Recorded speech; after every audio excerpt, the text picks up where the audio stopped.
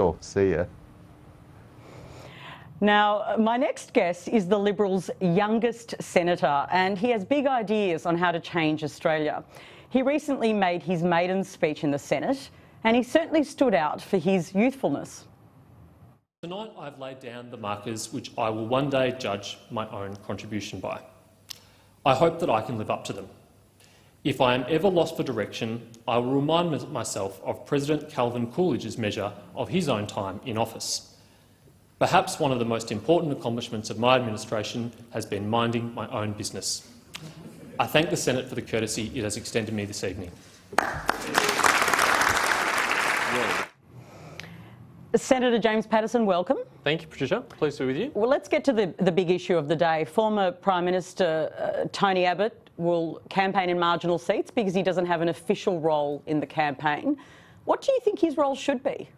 Well, like any former Prime Minister, I think he's got a lot to contribute to the election campaign. I hope that he'll be out there in his own seat and in other seats across the country uh, supporting Liberal candidates, raising money and, and, supporting the cause. I have to say I was very amused to see uh, John Hewson giving advice uh, to Tony Abbott. He's probably the last person I would be calling for advice for how to behave as a former Liberal leader. I hope Tony hasn't taken any of his advice to heart. I think the real template here is former Prime Minister John Howard, who has really shown what a distinguished former Prime Minister can do. But he left Parliament, so so should then Tony Abbott leave Parliament? That's what John Howard did. That's how he's assisted. Well, as you know, John Howard didn't have any choice in that matter. No, he didn't. Um, I think Tony Abbott's very welcome in Parliament, and if he'd like to continue to make a contribution there, then we'd be very happy to have him. I certainly would be happy to have him, um, and he should make best the best contribution he thinks is appropriate for him. Uh, if that's in Parliament, great. You remember that famous picture of the last of the of the 2010 election campaign, Julia Gillard looking at Queensland maps do you remember that picture? It's such an iconic picture with Kevin Rudd. The reason they took that picture was there was a crisis. They hadn't figured out a role for Kevin Rudd. They realised they needed to include him in the campaign, so they took that picture, and it was actually a public relations disaster for them because it was such an uncomfortable relationship. You don't want to get to the point during the campaign when you have that kind of moment either, though, do you? No, of course not. And I don't see any reason why we would get to that point. I think uh, the Prime Minister, Malcolm Turnbull, is, is leading a great government um, which is in a very strong position uh, and will be seeking the man- a mandate from the Australian people uh, in due course to be re-elected, and Tony Abbott has a role to play as, as a member of the team there. Um, it was clear that Julia Gillard a, had a very shaky hold on the leadership, and she needed to be seen to be appealing to Kevin Rudd and his supporters. I don't think the Prime Minister's in the same position today. Okay, but, but on that issue, you heard what Nick Xenophon said there. Pretty cheeky, very Nick Xenophon, the whole thing, really. But come to South Australia, Tony Abbott campaign. Now, what he's saying there, of course, is that Tony Abbott's unpopular and it, it reminds the public in marginal seats about Tony Abbott and that actually he works against the government. Is that true? I'm not sure that's right. I haven't detected uh, any evidence of that. I certainly have never met a voter who said that they're not going to be voting for Prime Minister Malcolm Turnbull because Tony Abbott used to be Prime Minister. Uh, I don't think voters think that way. I think voters will make a decision on who's the best Prime Minister between Malcolm Turnbull and Bill Shorten, and that's a comparison that I know the Liberal Party relishes. So they shouldn't, he shouldn't be given Tony Abbott a special role in the campaign, a special no more special role than he, than he naturally already has as a former Prime Minister and a respected uh, elder statesman of our party. Um, I'm sure there'll be a lot of MPs who will be keen to have his support, and I'm sure he'll be keen to give it. On Cory Bernardi's uh, move, this, this pretty interesting move really, to launch a new political force, the Australian Conservatives, to give a voice back to the forgotten people. What do you make of that? Does that potentially split the Conservatives? Well, I'm not quite sure yet exactly what Cory has in mind, but Cory has been a real uh, activist and, and, entrepreneur in a political sense uh, for many years. He's established the Conservative Leadership Foundation, which does great work in mentoring and supporting uh, young people who want to be involved in politics. Um, this may well be just an extension of that. I think um, that Cory's got a lot to contribute to the Liberal Party uh, and, and, and represents a significant proportion of opinion within the Liberal Party. So you're concerned, though, if it becomes more than that? You're saying you're not sure at this stage?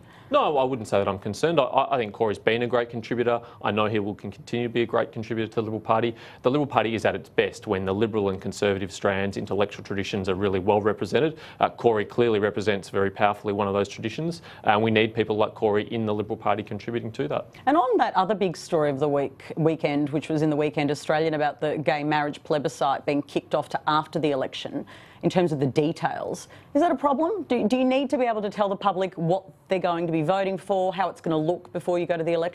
I think it's pretty clear to the public that if they re-elect a coalition government, there will be a plebiscite as soon as practically possible on same-sex marriage. Uh, the details will be worked out, but this is really, we're talking about details here like public funding and the exact nature of the question. I think the public understand the key issue and the key choice here is, do you want to have a public vote? Um, polls indicate that they certainly do, and the only party offering them that is the coalition. Now, on your maiden speech, we haven't got a lot of time left, but you, you gave a really interesting maiden speech. I heard you speaking to David Speers this week about it too.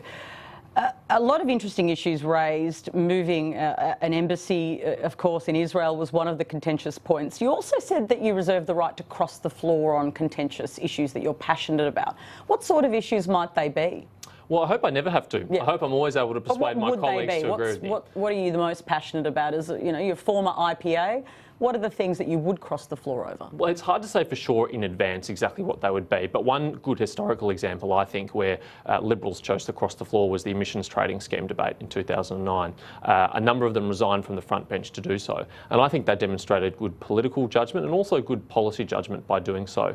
Uh, the Liberal Party changed its position and, and went on to defeat uh, Kevin Rudd's ETS and, and, defeat the Rudd and Gillard governments. Uh, so that's a good historical example where I think it was justified, but it is something that should be used very sparingly. And what do you say to people who say you're too young, uh, you're all coming from the IPA now? That's another big common criticism of Liberal Party pre-selection, the Institute of Public Affairs. What would you say to your critics who say you have no life experience? Well, that must be a recent criticism because it's really only myself and Tim Wilson at the federal level who've been pre-selected. I've heard it in the last the two weeks. Good, good. Well, I'm pleased to hear that. It's fresh. I, I think um, I think people from uh, a think tank, a free market think tank, have a lot to contribute that is different. Uh, we're not lawyers, we're not political staffers, we're not business people. Uh, we're people who worked in the policy space and in, in, the, in the battle of ideas our whole professional careers. So myself and my, my friend and former colleague Tim Wilson, I think will have a lot to contribute. But ultimately, that's for the public to judge and that's for the party to judge. If they don't believe we're doing a good job, we'll hear about it. Do you think it's important, though, that young people, you are also very young, are represented, that it's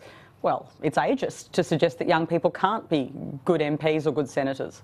Well, young people are looking for political parties that represent them and stand up for them and understand the issues that are important to them. And one of the ways the Liberal Party can demonstrate that it does that is by pre-selecting younger MPs. And I hope in a small way I'm able to do that. If young people ever look at the Liberal Party and see that it doesn't look or reflect their values or their interests, then we're going to have difficulty earning their votes. So um, I hope I'm able to contribute to that. James, thanks so much for coming in on an Easter Sunday. Thank you, Patricia. It's been a pleasure to talk to you.